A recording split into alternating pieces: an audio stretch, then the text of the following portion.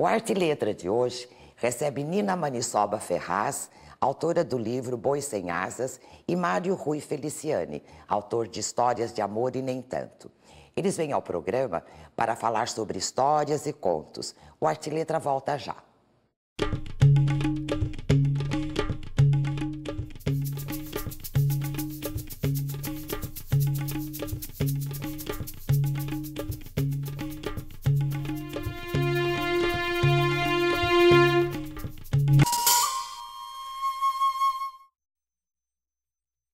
Obrigada pela presença dos dois, um prazer tê-los aqui. Vocês escrevem, os dois, né? mas tem outras atividades, outras profissões. Como é que é isso? Qual é a, a influência de uma atividade na outra? Mário, por exemplo, é fotógrafo, não é? E você, Nina, é médica. Como é que vocês começaram a se dedicar à literatura? Começo eu? Na verdade, a literatura é anterior à minha fotografia. Hum. É que a fotografia depois apareceu para público mais cedo. Hum. Eu fiz uma exposição, é, virou livro depois, e meu livro, meus livros de contos ficaram é. guardadinhos, né? Na gaveta, Na gaveta, como até que eu é. comecei, até que eu tive a ideia. Eu acho que elas são ligadas as duas coisas. Meus hum. contos são muito curtos, hum. eles são quase fotografias nesse sentido. Hum. É quase um recortezinho pequeno de uma situação. É claro que texto e, e, e, imagem são duas coisas completamente distintas. Um se presta mais para uma coisa, outro se presta mais para outra.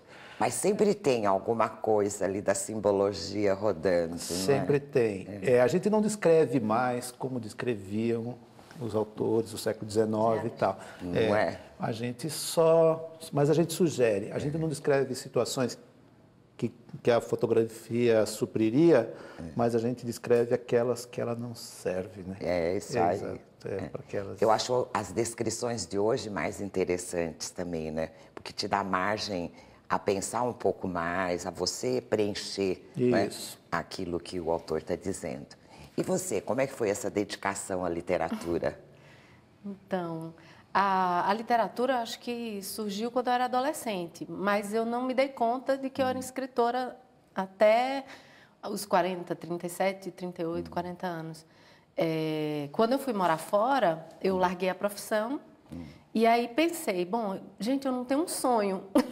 Cheguei à conclusão... Você fez medicina e depois parou de exercer? É, eu, por... fiz, eu fiz faculdade, seis anos de faculdade, fiz dois anos de residência, fiz um ano de pós em ginecologia, é, fiz um ano de pós em ultrassom e estava ali, né, sendo mãe, mulher, cidadã, mas não tinha um sonho, assim, especificamente, nem tinha um hobby. É.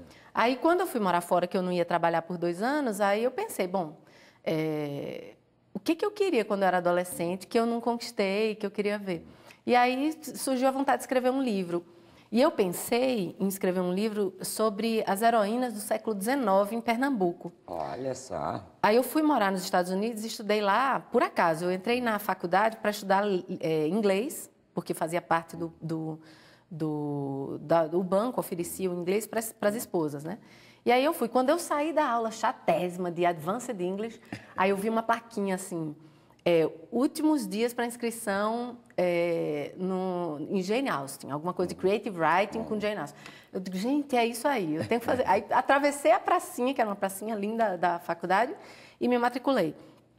E aí começou, fiz Creative Writing, Writing Skills, um monte de cursinho para preparar para a escrita. E o livro não saiu, o livro das heroínas do século XIX. Mas aí surgiu Boi Sem Asas e outras coisas ah, quando eu voltei para o Brasil. Você percebe alguma influência da medicina na tua literatura ou uma não tem nada a ver com a outra? Deve ter uma magia positiva. O Guimarães era médico, tem muitos outros escritores, o Sclier era médico. É. É, mas assim. Algo na formação, na né? Na arte, é. eu acho que a vida é. é. meio sem lógica. A gente sempre tenta dar uma explicação. Isso é. funciona assim, isso funciona assado. Tem gente que diz que eu sou muito cartesiana e eu procuro ser muito clara por causa do treino de medicina. Mas eu acho que, que a, por mais que você tente dar uma lógica na vida, a vida é um fluir, assim. É. E o, o e bacana de escrever é, assim. cair nesse fluxo, né? Se deixar levar. E você, Mário, que consegue transmitir de cada situação simples do dia a dia, você tira poesia, você tira uma beleza que as pessoas normalmente não percebem. Será que isso não é influência da sua, do seu olho de fotógrafo, da tua visão de fotógrafo? Ah, eu acho que sim, com, certeza, se é verdade. Esse não, é verdade. esse, lindo, esse lindo elogio que você está fazendo. Eu atesto, é verdade. É sim, com certeza. Se você conhecer a minha fotografia, minha fotografia é de detalhes também. É. Não é de micro detalhes, mas é de tirar do contexto da vida um pedacinho e dar uma nova dimensão é. para ela, né? E para esse pedacinho, para essa, para essa imagem. É encontrar é, uma composição ou uma situação, um, ou uma situação. Na, na, no conto não é diferente, né? É encontrar um pedacinho da vida é, ali realmente. e tirá-lo dali. E Você pega situações assim do dia a dia, comezinhas, como o fabricante de sapatos, né? É. A, o, a, o, garoto que tinha um problema ortopédico. Exato. E você faz disso assim um conto, você mostra beleza, poesia nessas coisas. Assim. É coisa de pegar com a pinça mesmo, como fotógrafo. É também né? eu acho, eu acredito muito nos pequenos heróis, hum. mais do que nos grandes heróis. Quando é. eu era criança, tinha um livro, uma, uma uma coleção que se chamava Grandes Personagens da Nossa História. Eu acho que não eram eles os grandes personagens da nossa história, entendeu? Você já eu acho que foi eu, contra. É, agora principalmente a gente tem certeza disso, a história até hum. trata as coisas assim. Mas essas pessoas do dia a dia, elas têm, têm histórias. Seu valor, né? claro. Né? Não, tem, tem histórias muito ricas, né? As pessoas é. são todas ricas, né? Realmente. É, a gente tem que encontrar nelas. Isso aí. Nina, você é de Pernambuco, né? Pernambuco é seu estado natal, mas você, como já disse, morou fora, morou do, fora do Brasil, no Rio, agora está em São Paulo. Você traz nos seus contos características desses lugares por onde você passou ou é só do Nordeste mesmo? O que eu sinto é que quando eu escrevo, eu volto muito à infância, a, hum. aos, as coisas que me marcaram, as falas que me marcaram, porque eu acho que a, a, a situação de, de, de, pensar da criança é meio próximo da uhum. fábula, né? Uhum. Quando a gente é, não entende o mundo, a gente tenta explicar o mundo. Certo. E eu até acho, assim, é, que a escrita, não só a, a, escrita dos antigos, essa coisa do mito, que o mito já tentava explicar o mundo. Eu acho que o escritor contemporâneo, por mais sem fé que ele esteja, por mais que ele esteja... É, é, voltado às coisas miúdas e não às coisas grandes. É. É, mas é nas coisas miúdas também que tem a explicação para as coisas grandes. Você morava onde lá em Pernambuco? Em, na, em Recife, é, cidades? eu, eu morei, na minha infância, eu, eu sou de Floresta, interior de Pernambuco, uma hum. cidade bem do sertão. Hum. Agora, quando eu fui fazer faculdade, depois dos 14, 15, no segundo grau, já fui para Recife. Foi para Recife. Aí você tem as lembranças, como você está dizendo, né, da sua infância, você traz, você resgata muito isto, né? Você mostra um Nordeste, assim, nas personagens. Fala um pouquinho sobre isso. Como é que você traz essas personagens?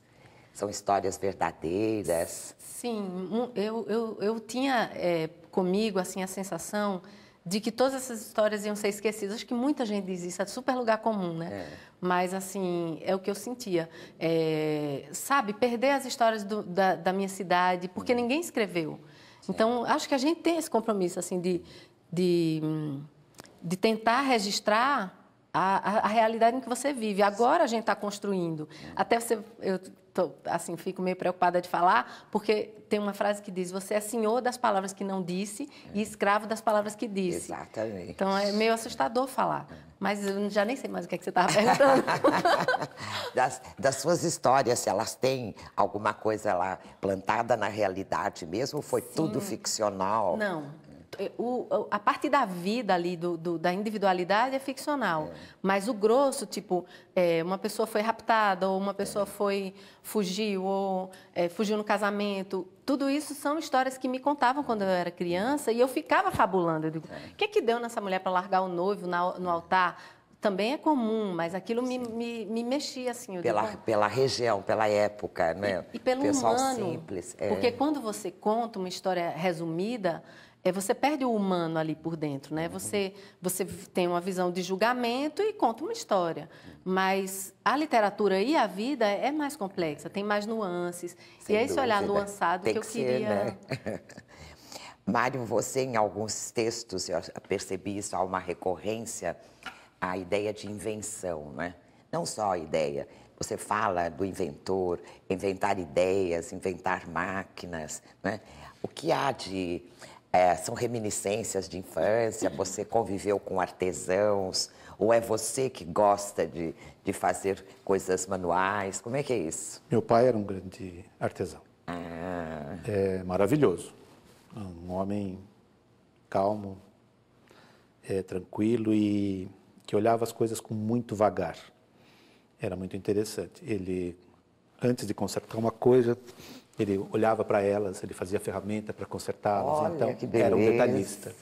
Né? Artista das mãos mesmo. Artista das mãos. Não foi um artista plástico por causa da formação, porque ah. era um homem, um homem simples, que estudou ah. pouco e tudo mais, mas era um habilidosíssimo e muito criativo muito criativo, fazia umas loucuras que você não faz ideia. Ajuda. Ele tinha um cortador de grama que era um, a parte de baixo do liquidificador de ponta cabeça. então é é? a, a, hélice a cortava a grama. A é, hélice é verdade. Até o que dia funcionava esse cortador, eu que queimei, Olha, sem querer usando. Ele, que inteligente. Muito, muito ele, ele é. criava em cima. Tem muito a ver com o que eu faço, eu acho. Tem, tudo que eu sou tem muito a ver com meu pai, embora numa é, outra dimensão. Não seja tão jovem, mas assim, é. fica de lá, né? É. é. ele, ele era muito, muito habilidoso e muito inventivo. No primeiro conto seu, tem um personagem que tem uma fala que eu gostaria de repetir. Ele diz assim: era grande a bagunça da dor antes da invenção, justamente a invenção. Você pode explicar esse valor da invenção aqui? Posso. Numa frase como essa? Tem dois contos de inventor baseados digamos assim, inspirados pelo meu pai.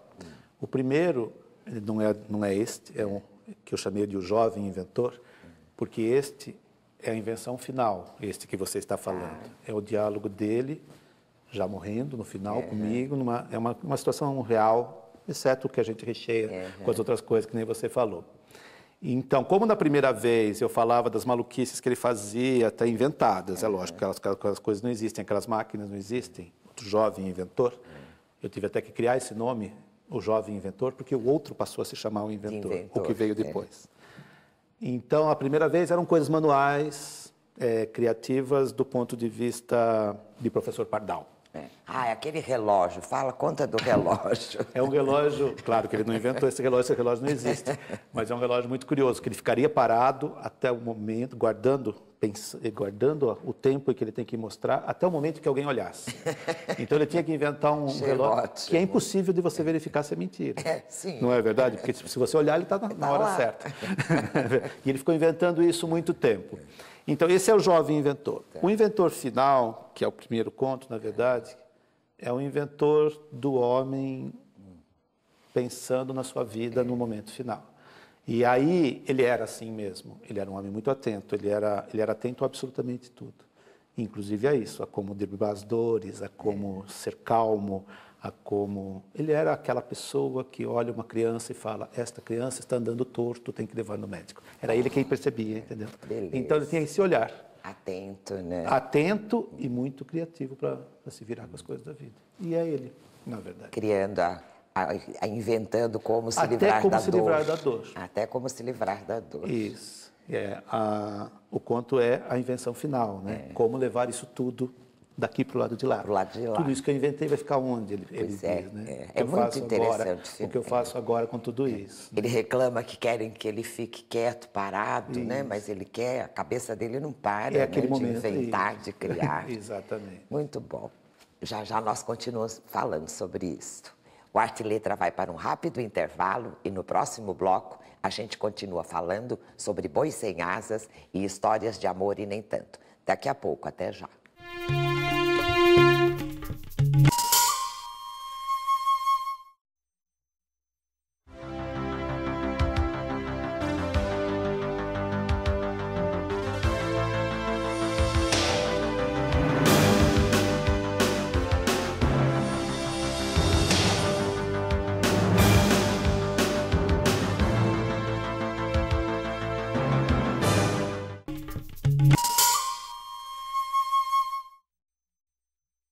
Arte e Letra está de volta com Nina Manisoba Ferraz, autora de Boi Sem Asas, e Mário Rui Feliciani, autor de Histórias de Amor e Nem Tanto.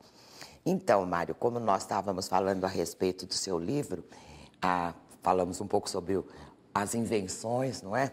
Agora, uma coisa que me chamou bastante atenção também é a capa.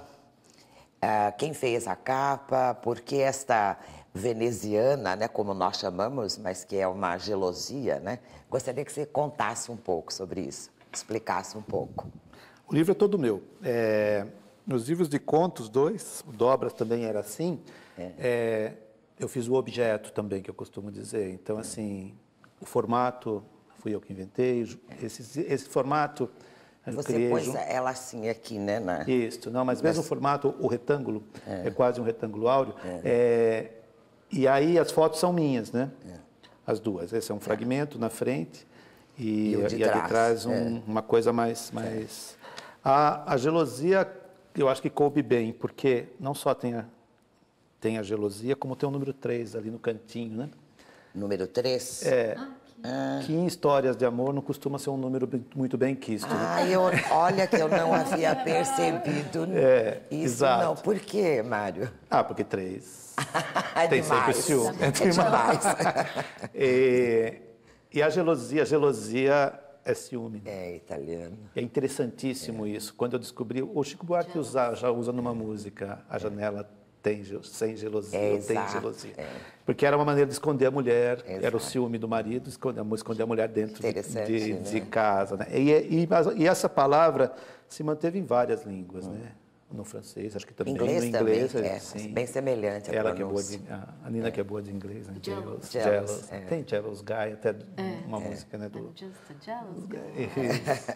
e, e aí acho que combinou. Claro que tem essa, esse essa composição meio maluquinha, que é aí a minha composição de fotografia, é. que, que eu, eu gosto. É muito bom fazer a capa do próprio livro. Ah, é, é muito bom. Sim. É vestir é. o próprio livro, ele ganha uma, ele ganha uma, uma realidade, é. né? E essa sua arte de fazer o objeto também, né? É, Não só o conteúdo. Agora, o fato de ser uma gelosia e o número 3, que é o ciúme, os dois são, são referências ao ciúme, não quer dizer que as histórias de amor sejam só histórias é, de amor. Não, não, não são. De homem e mulher. É. As histórias de amor são variadas. Né? Tem ciúme na história, nessas, nessas histórias, tem uma história de ciúme importante, mas não é só isso, né? As, os amores são muitos. Tem uma interessante da moça que vai ao prédio, o rapaz é mais velho que ela, e aí ela se encanta com o porteiro. É mais do que isso, ela seduz o porteiro por ciúme do isso, namorado. Isso, pronto. É, é meio isso. rodriguiana, é, é, é uma ideia é. como se ela fizesse tudo para evitar a, as é. traições do namorado, inclusive seduzir um outro homem. No pós-fácil do seu livro, o Vadim Nikitin uh, fala a seu respeito que você é um homofaber. É por essas razões que nós estamos comentando aqui? Sim. O Vadinho usou uma expressão, eu não, acho que não sei se ele colocou, acho que sim, no, no pós-fácil, que é a pessoa descrevendo, acho que o conto da curruíra que morre, é, é, que, que, o, a... que, o, que, o, que o habilidoso, o, o, faz a ratoeira, faz a ratoeira, põe as coisas em cima da mesa e compõe as, aquelas coisas em uma, uma, uma ratoeira. Que é isso, né? É, ele disse, o Vadinho, muito querido, é, que é como se eu colocasse elementos e montasse esses elementos numa história. A fotografia também é um pouquinho assim, né? as é. coisas são pouco colocadas com a mão, né? Claro que as pessoas não sabem, mas assim, ou o fotógrafo coloca as coisas com a mão para depois você gostar do todo. É. é. mais ou menos como uma mulher que arruma detalhes para a gente achar ela bonita o como todo. um todo, entendeu? Assim, a mesma coisa na, na, fotografia. E no quanto eu acho que o Vadim enxergou Sim, isso. sentiu essa a, mesma. Até porque a descrição da construção da ratoeira é bem detalhadinha, Detalhada, assim, né? Cada é. coisa que ele pega Ah, só fiquei triste porque não era rato, era a corroíra que estava por é. lá, né? Só para instigar a leitura. Nina, Boi Sem Asas é um dos contos né, que, do seu livro, que tem um toque assim bem surrealista. Por que é que você escolheu esse conto para ser o título do livro? É, assim, uma, uma, explicação que eu não dei no prefácio, que eu dei desde isso, o boi é importante por tudo, porque ele é a carne que a gente come, a energia que a gente tem, ele é a força que move o, o, o carro de boi, ele é a violência que mata o menino pisoteado na, na boiada. é, matar gente grande também, né? não é só criança. Mas são histórias que eu ouvia contar e sempre me emocionaram muito essa coisa da força é, indomável e também domável do boi, que eu acho que é um pouco a poesia que está dentro do artista, é, é, um pouco da mulher que está dentro de todas nós, é, enfim. Mas uma explicação que eu acho para eu ter escolhido é por causa da influência do Cláudio Willer, porque eu sempre escrevia mais objetivo, mas contando a história. E depois que eu fiz a oficina dele, eu fiz a oficina da Noemi Jaff também, fiz a oficina do Marcelino Freire. É, sou oficineira, adoro discutir é, literatura. Vai, vai, se aprendendo né, com essas oficinas. É, e você vê os outros colegas, ouve a opinião sobre o texto. Acho que os grandes é, escritores faziam isso também. Não estou comparando, a gente faz isso modestamente. Mas, assim, os grandes escritores faziam. É, vários escritores davam para outros Sim, ler. Essa enfim. troca de você ler o meu, ver o que você acha, dar um, um palpite aqui, melhor ali, não é? É, o boi surgiu da influência do, do Willer. É. E aí eu, eu escolhi. E, eu, e, na verdade, também, porque o medo do cotidiano é o que perpassa todas as narrativas do livro, é o, o que alinhava os e é contos. isso que eu gostaria que você falasse um pouquinho mais sobre essa grande metáfora né, que está aí nesse boi sem asas. Quer dizer, existe um boi com asas, Onde está esse boi com asas? Pois é, ele foi, esse título foi inspirado no Cão Sem Plumas, de, de, um, de uma pessoa que é, de um escritor que é uma influência forte em mim, mas que sempre me, me fez um Nordeste doído. É o, o Cão Sem Plumas é o homem, é um poema que fala do homem melado de lama no Capibaribe, que fica igual à lama e, e o homem igual à lama e a lama igual ao homem. Então é um poema que dói porque eu sou rama do Capibaribe e, e ver daquela forma colocada como Cabral, mas é, ele fazia a poesia da pedra e jogava pedra também no leitor e, e, me embateu todas. Aí eu, eu, escolhi, eu, escolhi, inspirado nele, o título, e eu acho que lendo o conto é, a gente pode ver melhor a sim, metáfora, sim. né? Que é, a, a, metáfora é o medo do, da coisa cotidiana, medo. você não deve ter medo dos grandes monstros, você deve ter medo do, você gostaria de ler agora para nós Vamos. esse conto? Ai. É... Ele é um conto curto, mas muito significativo. Obrigada. É... Passava o dia sonhando, mas à noite tinha pesadelos. Vi um touro gigante, com asas enormes, sem penas, membranosas como as de um pterodátilo. Acordava assustada, suada. Acendia a luz para me livrar das sombras que me cercavam. E bastava a luz para fazer sumir esse touro mitológico. Agora não tenho mais medo de monstros. Tenho medo do boi sem asas, que perambula quase invisível em algum terreno baldio da minha alma. Este sim é minha ameaça. Incessantemente ele come a minha grama, pisa nas minhas flores. Um dia, talvez, crave seu chifre no meu peito. É para se pensar. É para se pensar. É muito bonito, é bem significativo. Cada um vai, vai tomando né, essa dimensão aí. Mário, você, no último conto do seu livro, Funcho, né, hum. o seu narrador diz que lhe contaram uma história com graça, mas a escrita, ainda mais a minha, do seu narrador, né, diz que não basta para os casos mineiros. Por quê? O que há com os casos mineiros? O último conto é.